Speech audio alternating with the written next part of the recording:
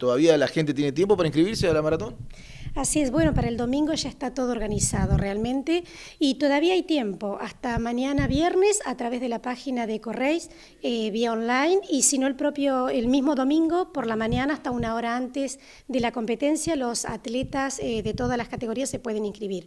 Obviamente que sigo con la recomendación y sobre todo para los competidores a nivel local que se lleguen a la municipalidad entre hoy y mañana o el sábado por la tarde la estación más para que las inscripciones sean anterior a ese domingo por las cuestiones de tiempo y para que la largada que está prevista a las 9 y 30 sea puntual. Eh, ¿Ustedes sábado a la tarde van a tener un, puesto allí en la estación más para que la gente se anote? Nosotros el sábado a la tarde vamos a estar organizando el espacio en la estación más y vamos a destinar un espacio para que se puedan anotar. Eh, en cuanto a lo organizativo del evento, hay algunas novedades, como por ejemplo, eh, este año suman ustedes la posibilidad de un almuerzo accesible para los atletas.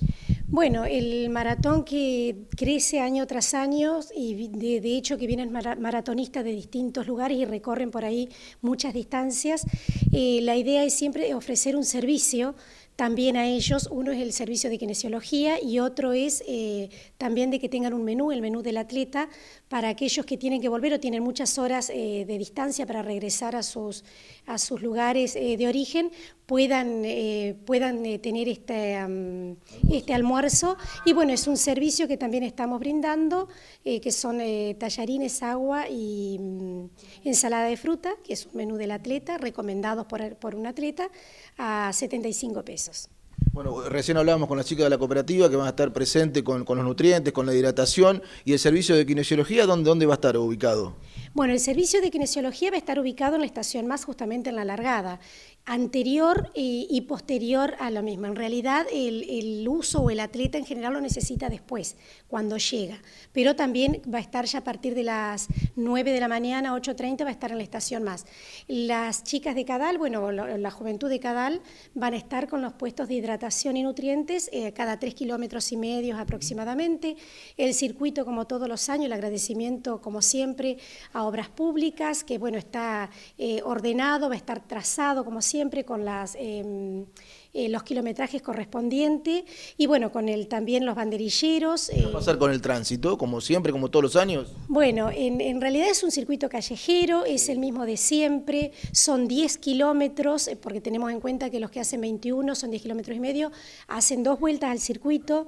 este circuito va a estar marcado y van a estar sus banderilleros, hay 105, 110 banderilleros que van a estar a lo largo del mismo y aprovecho esta, este, este medio, como siempre también para pedirle a la, a la gente de Antron la paciencia en el sentido de que en esas tres horas eh, que dura el, maratón, recordamos que larga a las 9.30 y la fiscalización son tres horas, por lo tanto 12.30 está finalizando.